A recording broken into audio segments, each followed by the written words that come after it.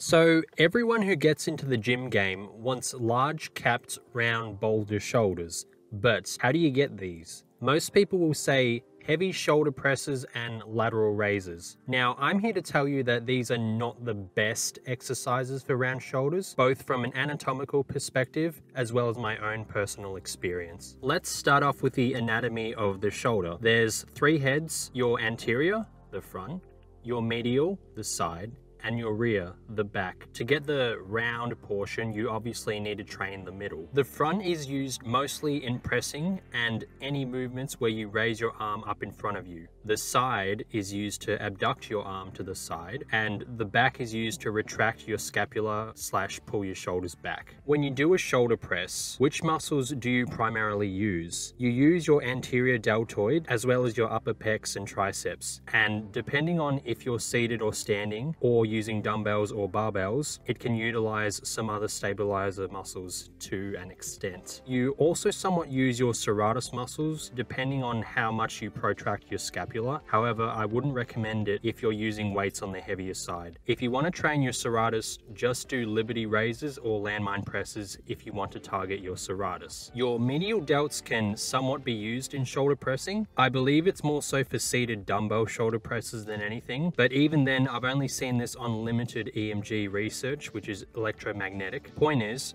Shoulder pressing is not a good way to build your medial delts, since that's simply not the function of the medial delt. So for the other movement mentioned, lateral raises, this movement actually does target your medial delt, unlike the previous one, since the movement is literally abducting your arm to the side, which is the function of your medial delt. There aren't many movements that perform this function, hence why the lateral raise is probably considered the best movement for your medial delts. However, that's not the case, and I'll tell you why shortly. Now, another Another movement people recommend is the upright row. It does work your medial delt somewhat, as you're somewhat abducting your arm to the side, as well as causing mad shoulder impingements. I don't recommend doing barbell upright rows simply because of the fact it can lead to shoulder impingement due to internal rotation of the shoulder, which basically happens anytime you move your elbow sideways, with your thumb pointing towards the ground above your shoulder height. Example, you don't cause internal rotation if you lift your arm straight up in front of you. When you do this, your elbow elbow is above your shoulder, but since your arm is straight out in front of you and your thumb is facing the ceiling, not the floor, you won't have any internal rotation of the shoulder. Now this movement is okay to do in general everyday life, as long as there's no prolonged resistance on the joint. I make sure when I'm using the slicer at my supermarket job not to have my elbow above my shoulder for this exact reason, as there is slight pressure when using the machine. Better to be safe than sorry. You don't want to be that 35 year old who talks about how good he used to look, simply because his body is too injured and worn down to work out anymore. Play the long game, always be leveling up. One remedy put forward is to use dumbbells instead of a barbell, since your wrists aren't fixated to a bar. Although you have a little more freedom of movement in your wrists, you are still performing the internal rotation of your shoulder since your thumbs are pointed down, as that's how you hold the dumbbells for this movement, and you need to raise your elbow above your shoulder to the side to get the full contraction in your medial delts. The reason upright rows are recommended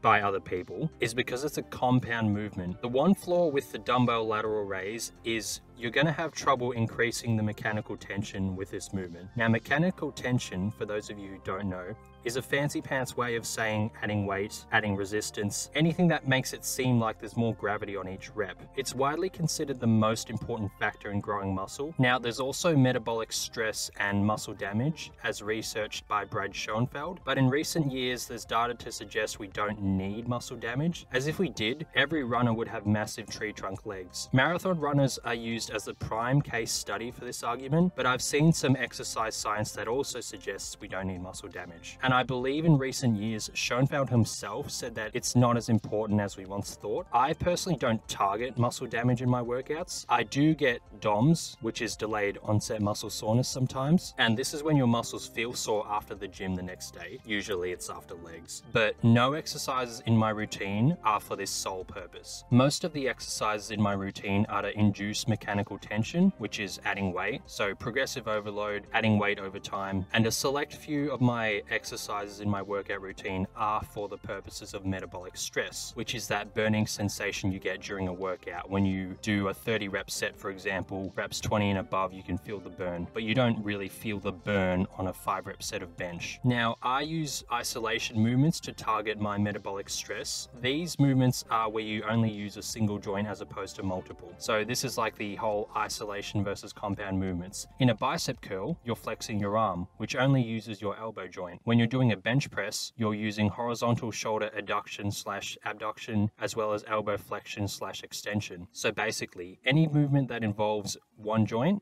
I use higher reps and lower weight for my metabolic stress. Any movement that uses two joints or more, I go for mechanical tension, aka lower reps and higher weight. So with all this said, it seems we can only use metabolic stress to grow our shoulders, right? Since using mechanical tension via compound movements, aka the upright row, causes shoulder injuries down the track. Now, I'll mention this now. There are some YouTube videos of people trying to argue that this movement can be safe. I believe if your hands are positioned next to each other instead of being far apart, and if you don't raise your elbows above your shoulders, this is considered safe. However, your wrists are still fixated on the bar, and it's such an awkward movement if you lift this way. You'd essentially be trying to lift upwards of 30 kilos plus eventually, with your wrists stuck together and basically only lifting with your shoulders. It's just not worth it. You can get away with this movement, I guess, if you're using lightweight, but in that case, if you're losing lightweight, then why not just do more sets of lateral raises, or cable raises, or crucifix raises? You'd get more range of motion and it's still lightweight, which can induce the metabolic stress required. And furthermore, those movements are just safer in general. I don't know about you, but I'm here for a long time, not just a good time. No upright rows because shoulder impingements, Thus, mechanical tension is not optimized for our medial delts. And now we're only left with lateral raises, in which we only get metabolic stress. We do get some muscle damage too, but that's not important. However, there is one movement you can do that acts as a compound movement as it involves the elbow joint and your shoulder joint. It's the rope upright row. Now, I know what you're thinking. I just spent the last while trashing upright rows and now I'm recommending them. Well, a rope upright row is a different animal. With a rope, your wrists aren't fixated to a bar, unlike the case with a barbell upright row, and your thumbs aren't pointed towards the floor as they are with a barbell row and a dumbbell upright row, since you can hold the rope with a neutral grip. Now, one counter argument to this is, well, just hold the dumbbells with a neutral grip then. However, this just turns it into a hybrid of a lateral raise, and you'd be unable to progressively overload easily with this movement since you'd be using dumbbells as opposed to a barbell, as well as the fact that since you're fighting against gravity as opposed to a cable, the strength slash resistance curve isn't as optimal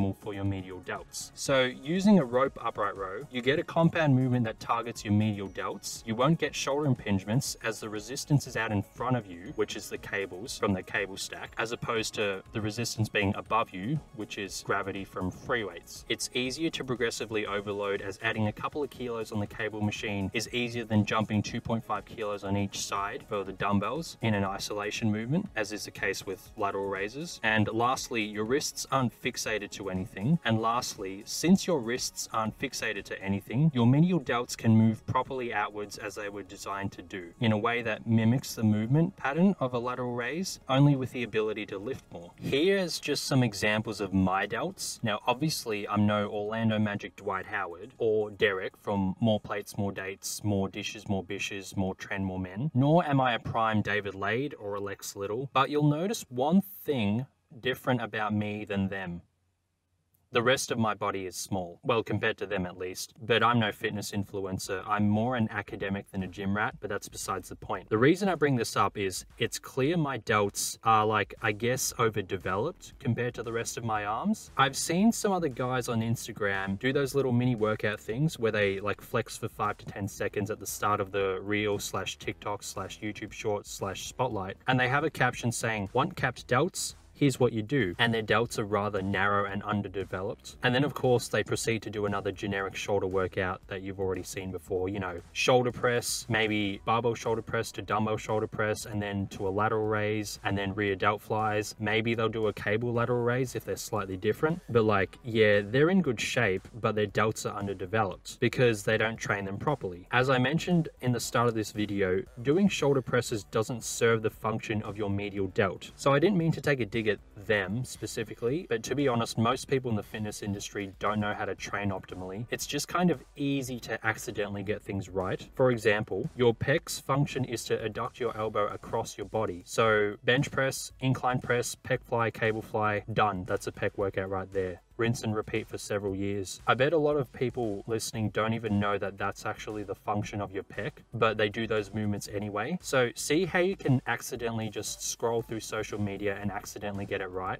Now, this doesn't work for your medial delt. So anyway, I hope using myself as an example, as well as using human anatomy, shows you that rope upright rows are the best movement for growing your medial delts. Now, one last thing I'll mention is, I talked about how dumbbell lateral raises mainly involve metabolic stress as opposed to mechanical tension, and I mentioned how mechanical tension is the most important factor and how you can't really achieve this in a few years anyway with lateral raises. So you can grow purely using metabolic stress, aka lower reps, high weight, and feel the burn, but it's simply not as optimal as incorporating mechanical tension alongside metabolic stress, which is why I advocate for upright rows, which is why I advocate for rope upright rows. Now, maybe David Laid and Derek from More Dishes, More Bishes never have done upright rows before, despite the fact that they have large capped shoulders, but obviously you'll have some genetic outliers. But even then, if you've seen D-Laid and Derek talk about how they grew their delts, you'll know that they used a lot of mechanical tension and metabolic stress themselves. So I've heard David Laid recommend getting stronger on lateral raises to grow your delts. He mentioned this in some 20, 21 minute video on his channel, and it was involving some Gymshark meetup in some European city a few years ago. And it was like raw footage of him talking to his fans. I don't know the video, but you'll have to check that out yourself if you want to see what he said there. It was like a 20-ish minute video and it was raw footage. It wasn't one of those day in the life things that he normally does. So yeah, in that video, he mentioned to a fan that he noticed his delts started growing when he got stronger on lateral raises. Well, yes, this works, but getting stronger on rope upright rows is easier and quicker to do. Now, as for Derek, I've heard him mention how he was spamming lateral raises, like using drop sets and whatnot, and surfing the rack, which is where you do lateral raises with a heavier weight, and then you drop it down, and then you drop it down until you've completely finished with all the dumbbells in the rack, which is surfing the rack, which is drop sets, which is what I just said. Alongside spamming lateral raises, why not spam upright rows? Do three sets of upright rows and three sets of lateral raises instead of doing six sets of lateral raises. Make the workout more interesting. Also, Derek is obviously on gear, and there's strong speculation that androgen receptors around your delts and traps cause those areas to grow quicker when using gear, but even then, that's not to say he doesn't know what he's doing or hasn't worked hard. It's just to say you can get boulder shoulders without upright rows. It's just to say that you can get boulder shoulders without rope upright rows, but the movement will likely make it easier for you to get them quicker, as you've seen in my physique. I wouldn't take bicep growth advice from someone with my body. I would, however, take broad shoulder advice for someone with my body. Anyway, try it out, incorporate it into your routine, and let me know how it goes for you. That is all.